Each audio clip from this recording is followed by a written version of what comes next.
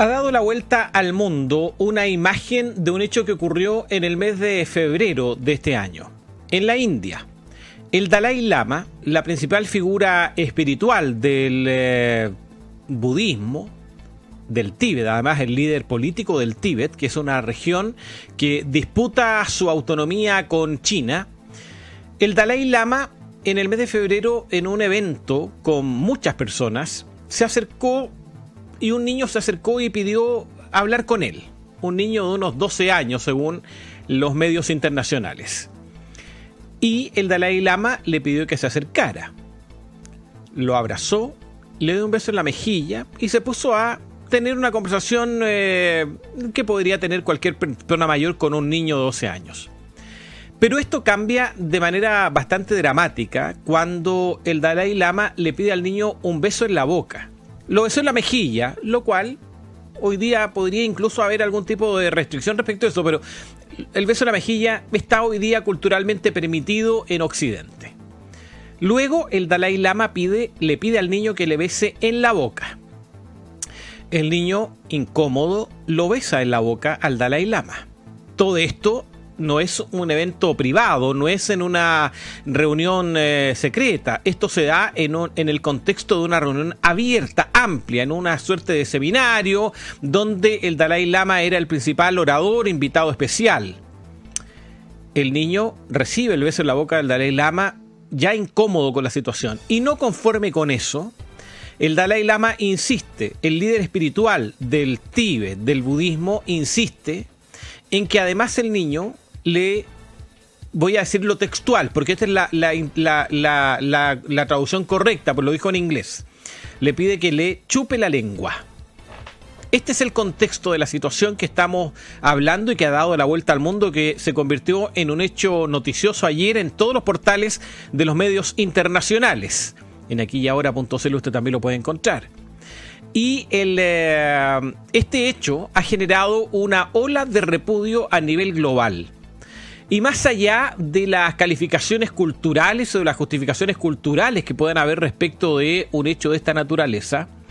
es que no hay ninguna definición ni religiosa ni cultural que permita y que posibilite y que justifique situaciones que tengan una connotación sexual con niños el mundo ha sido fuertemente impactado por los hechos que hemos conocido a propósito de los escándalos de abuso sexual al interior de la Iglesia Católica, que durante años se han ido conociendo en miles y miles de casos en todo el mundo. Y esto ha abierto además un debate respecto del celibato, que deben o no sostener los sacerdotes católicos. Y entiendo que el Papa Francisco, el líder de, los católicos, está en una suerte de eh, apertura, de análisis, de revisión del celibato de los sacerdotes católicos, de las monjas católicas. Esto es un tema abierto. Y esto se justifica y se explica solo desde el punto de vista de la discusión y del diálogo interreligioso a propósito de los escándalos de abuso sexual al interior de la Iglesia Católica. Y los liderazgos espirituales, los liderazgos religiosos a nivel global han entendido que hay cierto tipo de conductas que están en retirada. Y a, esto, a estas justificaciones de patrones culturales, uno debe señalar con mucha fuerza y con mucha claridad que en esto hay que tener sumo cuidado hoy día las condiciones respecto de el tratamiento hacia las personas por parte de los líderes espirituales, religiosos, cualquiera sea la religión, incluyendo el mundo evangélico, por cierto, deben ser absolutamente cuidadas. Y a propósito del escándalo que sacudió al mundo a partir del año, de fines de la década del 90, a principios del año 2000, con eh, los escándalos de uso sexual en el interior de la Iglesia Católica, se produjo un hecho que era absolutamente obvio.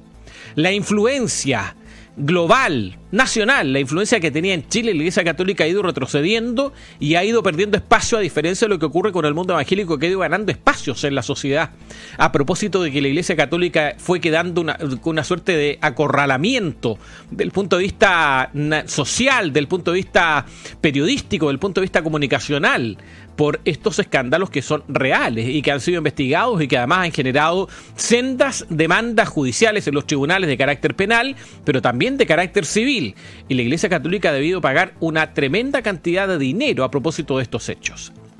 Por eso es que lo que ocurre con el Dalai Lama, más allá de las disculpas que haya entregado y emitido en las últimas horas, eh, la verdad que son poco justificables, son poco aceptables, son poco viables desde el punto de vista de lo que dice, del contenido. Eh, si alguien se sintió afectado por este hecho, no. Mire, la verdad que en la cultura tibetana sacar la lengua así como lo hacemos en la cultura occidental como a modo de burla, eh, es una expresión de eh, una suerte de, eh, de carácter íntegro, sacar la lengua, pero distinto es pedirle a un niño que le chupe la lengua a un adulto y eso no corresponde.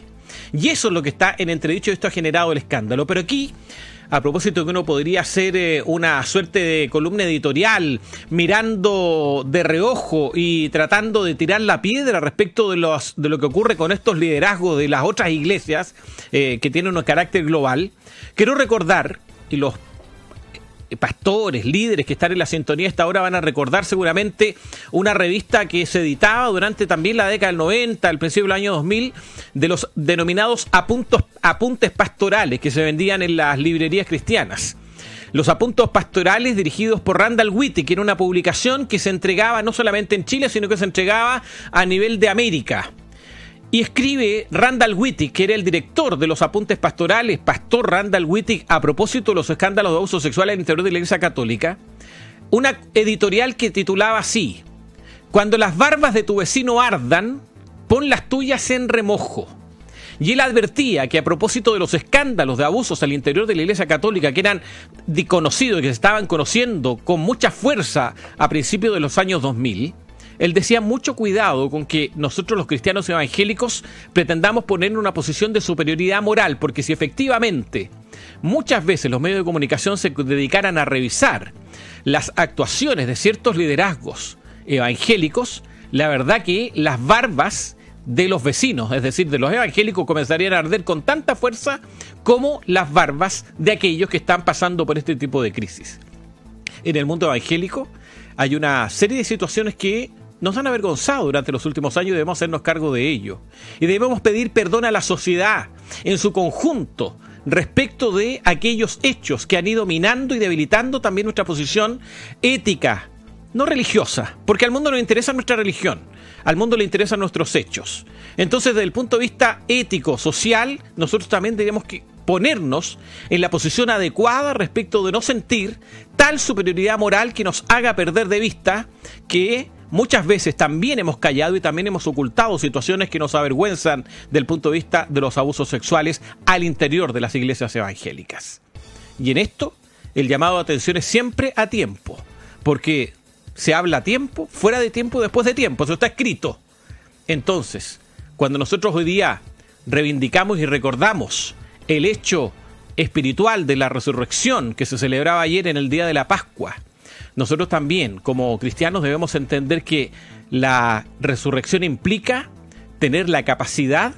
de ponernos en el lugar adecuado y de que nuestra vida hable más que nuestras palabras. En este sentido,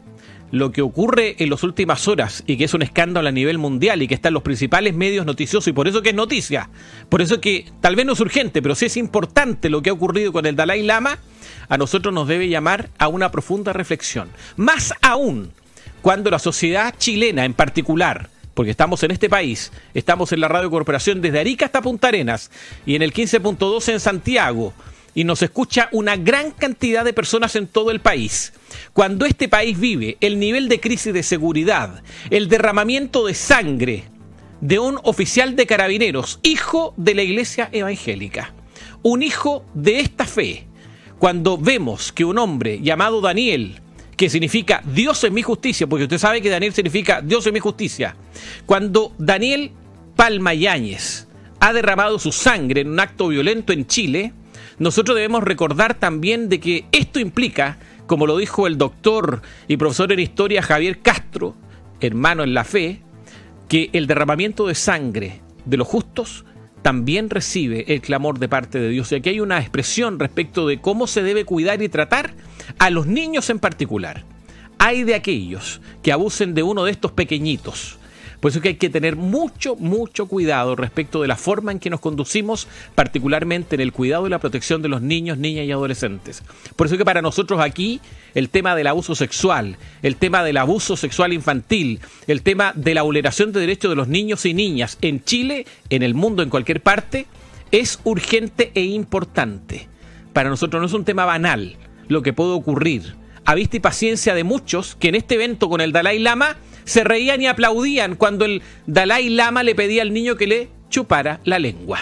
No es motivo de risa. Y nadie debe confundir los planos a tal nivel de olvidarse de la protección máxima y de la preocupación máxima que debemos tener por aquellos que son más débiles.